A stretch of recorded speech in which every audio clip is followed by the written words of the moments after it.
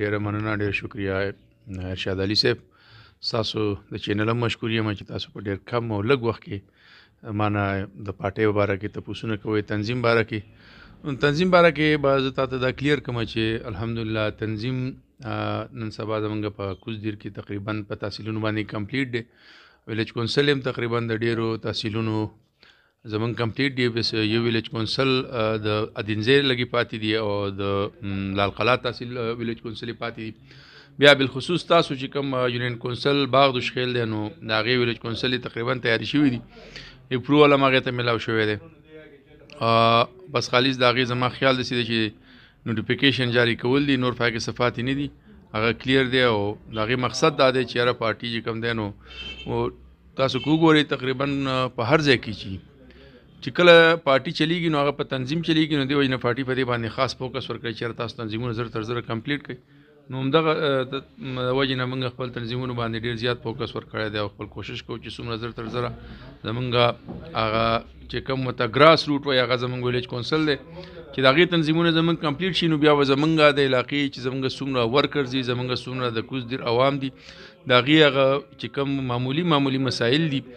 نو هغه به د هغې ضروري نه ده چې هغه د خپل ایم پی ای او ایم این ای ته رسایي کوي او هغه هغې دپاره لږه ګرانه هم ده نو هغه په لوکل سطح باندې کې دی وجه نه موږ په دې باندې فوکس ورکړو ان شاء الله ډیر زر اب تلس ورځې کې به تقریبا د کوز ډیر 198 مې ویلیج کونسل دی او و تحصیلونه دی هغه تقریبا کمپلیټ دی نو هغه به ان شاء الله تعالی ډیر زر بس یو خبره داسې وکم منګای دي سیده چې 13 حکومتونو چې کوم د پاکستان سره کم ظلم کړی دی د پاکستان د عوامو سره کم ظلم کړی دی کمی قرضې 35 ارب ډالر 13 نواز شریف حکومت هغه سی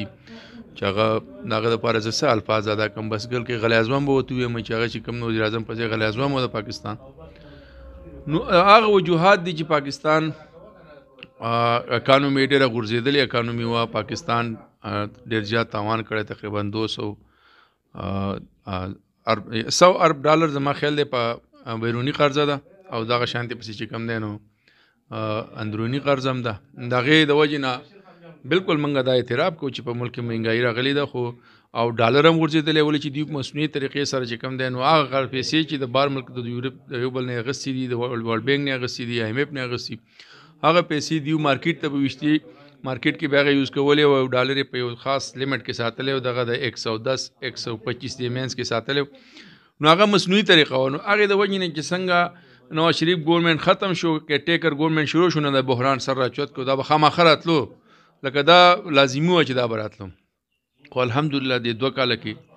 عمران خان چې کوم دی هغه مرد بحران دی تاسو ته خپاته دا غته ډیرو بحرانونو مخ مطلب دی چې سامنا کړی دا مخه ظاهر خبره ده هغه خپل کوشش کې لګیا دی څنګه چې هغه حکومت سمبال کو نو دغه شان دی فغه باندې فوري چې کوم دی د سي قرضې وي د خلکو چې کوم هغه سی هغه ورکول نو هغه د فارغه هغه د هغه زړه نه وختل چې هغه کارونه وکړي چیرې هغه دی د چا ملک ته ودرېږي او هغې نه دی به زه به ورته ویم چې هغه په خپله هغې ته وایي چې بیک خو به د دې قوم دپاره هغه هغه بیک هم قبول کړو سعودي عرب نه واغستې د قطر نه واغستې چینا نه واغستې او هغه کم قرضونه چې واپس کولو هغه واپس کړو خو الحمدلله دا کومه مینګایي چې ده نو مثبت اشاره را روانې دي منګاهي په کمیدو باندې دا او دا مصنوعي منګاهي ده دغه خلکو دا منګاهي شروع کړې ده دا کم چې د پاکستان دشمنان دي اصلي دشمنان د پاکستان د قوم د قوم د بچو هم دغه خلک دي چې هغه چې کله د سیاست تراغلی نو څوک میټریډر څوک سو څوک سو نن هغه د 80 او 90 ارب روپو مالکان دي نو دا غي مین وجه ده چې هغه په کرپشن کې مکمل کړلی خو ان شاء الله تعالی زما دا یقین دی چې زمونږ لیډر عمران خان ډیر زر پاکستان د دې مور نه وباسي د دې قرض یې دلدل نه وباسي دا منګای زیات زیات د سلو پنځه میاشت کې تاسو ویني په دې کې به چې نه نه نو 25 26 30% په دې کې به کمی راځي به تدریج ان شاء الله تعالی د خان صاحب حکومت چې 2023 پورې دا دا ټینور ختميږي نو ان شاء الله تعالی پاکستان چې کوم هغه شدید دباو دی د قرضو هغه به تقریبا د نش برابري او دا کوم منګای چې دا هم ختمي او نیکسټ انیور چې 2028 پورې دی نو هغه ان شاء الله تعالی پاکي بیا تاسو وینئ به پاکستان د ترقې په طرف هغه چې کوم سمت هغه ته بالکل سیده شوی په خپل ټریک برواني د ترقې په لور باندې دغه اپوزیشن کې زه وینم که څوک په دې باندې موږ باندې اپوزیشن چې کوم دا اوس پی ډی ایم لګیا دی او دا احتجاجونه کوي 11 پارټیاري راځم شوې دي او بار وکیلاریزم کې د ادیر کې پاتې دی جماعت اسلامي خبره وکم د بار وکیلاړي دی نو کله ځان د غیسه شاملې کله نه شاملې خو زه بار وکیلاړي غنم او بار وکیلاړي دومره حساسیت هم نه ولې چې دا غي ټول په دې ټول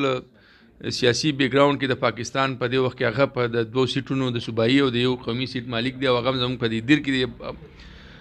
افغانستان بارډر باندې دی نو د بار وکیل لړۍ دا د 11 دغه نور دی او هغه په د خپل سازشونو کې د پاکستان خلاف کې کاغذ زمونږ د آرمي خلاف کې کاغذ زمونږ د حکومت خلاف کې د عوام خلاف کې دی ټول په دې کې بنا کوم کېږي ان شاء الله تعالی او پاکستان د وزیر اعظم عمران خان د هغه سوچ مطابق چې کرپشن فری پاکستان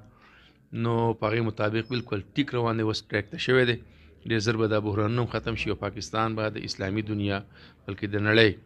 په هغه صف اول ملکونو کې چې کم ترقی یافته ملکونه پاکې په پاکستان هم شامل ان شاء الله علي صاحب د څه شي دی چې دا کله انتخابات شوي دي 25 جولای 2018 نو دا خو زمونږ محترم منسټر صاحب شفیع الله خان صاحب دا د دې جواب خو هغه درکولی شي خو په کار ده چې دلته ښه میګا پراجکټس ورکړي د خپلې حلقې لا د دیر له ورکړي ولې چې د دیر نه همیشه چې تیر حکومتونه څونه پاتې شوي دي نو د دیر منسټري نو هغه منسټري دی واري چې د پی کې پندره په قسمت کې مخکې منسټر و دی واري زموږ د پارټۍ کس دی شفیع الله خان صاحب نو زما د یقین دی چې دغه کم سوچ دی کم فکر دی د پارټۍ د پاره د ورکر د پاره نو زه دا غنم چې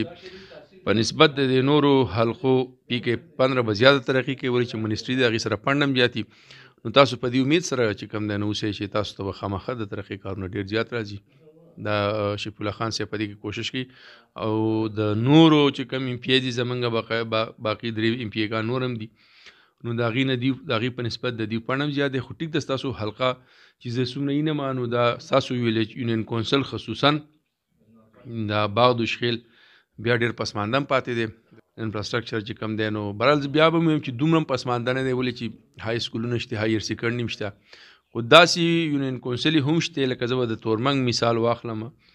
تورمنګ د سی ویلیج یونین کونسل دی چې پای کې های سکول د جنکو نشته نو تاسو الحمدلله په دې باندې خوش نصیب یې چې جنکو هایر سکول شته هایر سیکنډري سکول باغ ته برتلې ما په باغ کې هایر سیکنډري سکول د جنکو د لکانو شته د شند تاسو هم د لکانو شته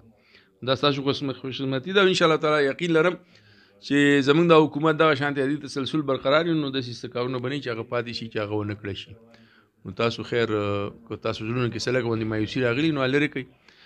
او دا